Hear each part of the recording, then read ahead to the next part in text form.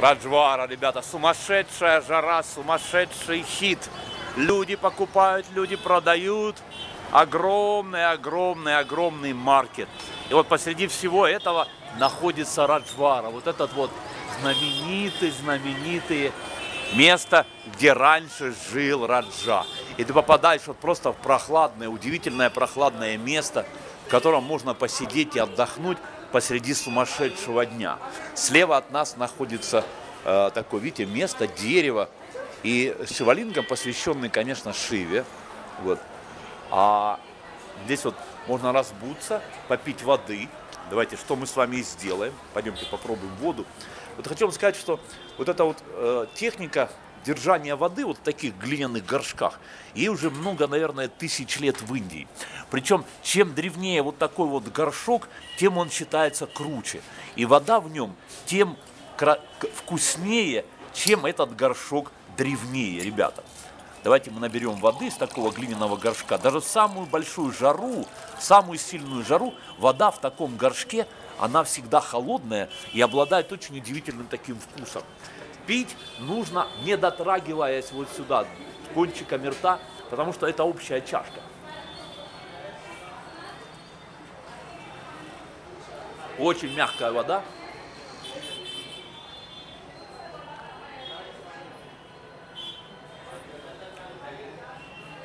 Мягкая, мягкая, прохладная вода. Очень вкусно.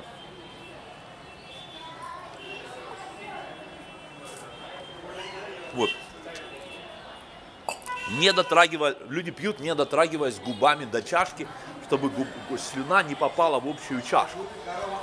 Вот, ребят, и вот смотрите, посреди жаркого совершенно помещения мы с вами попадаем в такое изумительное, изумительное место, место, где раньше когда-то жил Раджа.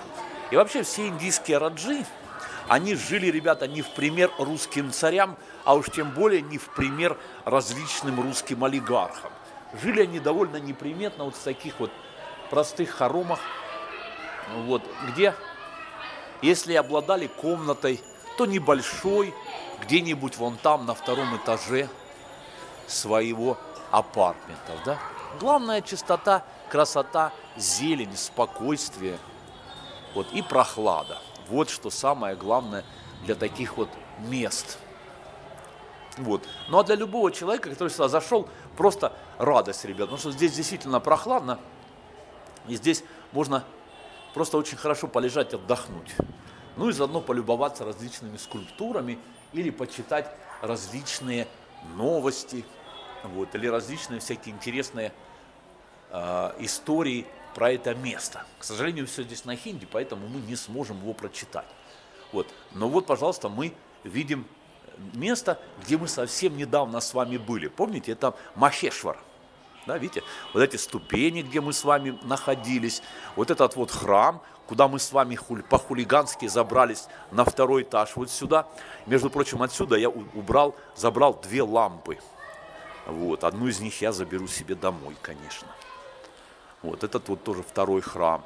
А потом мы, помните, зашли вот сюда, вот на самый верх, где нельзя было находиться, в общем, и нас оттуда прогнали поганой метлой. Вот, ребята, последняя из королев. Вот она, королева, последняя Индора, которая, наверное, до сих пор где-то ее родственники проживают, может быть, на территории Индии или на территории, может быть, Англии или где-то. Вот она по-прежнему является э, землевладельцей Индора, потому что в Индии вы знаете, не было э, национализации земли, и все э, раджи, все те, э, в общем, кто обладал землей, они так и продолжают этой землей обладать. Вот. И поэтому как бы они являются самыми, одними из богатых людей в Индии. Смотри, какой огромный просто шивалинга. Ом,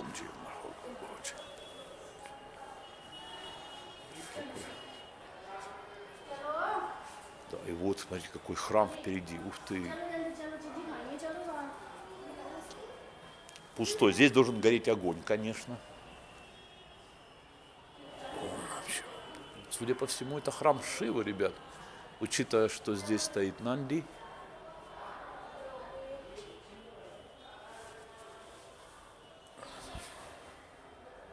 А здесь вот жила эта бабушка. Вот здесь, ребята, в этом помещении и жила Раджа. Смотрите, как она жила себе смока. Лач Малхар. Вот здесь вот жила эта женщина. А вот ее, как она жила здесь, гляньте. Вокруг каменная стена, бассейн. Там я не знаю, что потом посмотрим, потому что я не могу из-за решетки выглянуть. Да. А здесь, наверное, смотрите, сколько много-много шивалингамов, шивалингамов, а там э, рисунок какого-то ранжи, который везет дочку вместе с тобой. И висит, видите, такая большая-большая длинная труба, джиглиду такая вот, которую в Индии тоже дудят, такая джиглиду. Скорее всего, наверное, это отец вот этой вот а, нашей Раджи. Вот она здесь жила. Давайте скажем всего хорошего, поклонимся. Пойдем дальше посмотрим, что здесь есть. Да, очень прикольное место, если ты устал, конечно. Я думаю, что вообще здесь прийти сюда и отдохнуть вместе с детьми после этого сумасшедшего маркета самое то.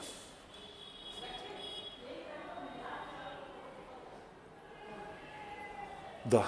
Ладно, ребят, ну давайте, пора идти перчу. Всего хорошего. Давайте. Ну или хотя, подождите, давайте пройдем посмотрим на вот эти удивительные скульптуры, которые мы видим целыми, потому что вот сколько вы со мной путешествуете, да, мы очень редко встречаем вот такие скульптуры, не разбитые. Потому что в основном, когда мы путешествуем, мы обязательно их встречаем, но они уже все разбитые совершенно, да. А вот гляньте, они совершенно целые, и с какой красотой они сделаны. Посмотрите на лица. Разве это индийские лица? Они напоминают вообще какие-то камбоджийские, наверное.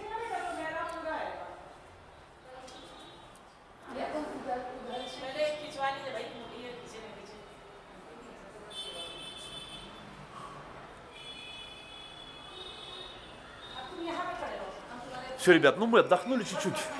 Пора в путь дорогу. Давайте, пока.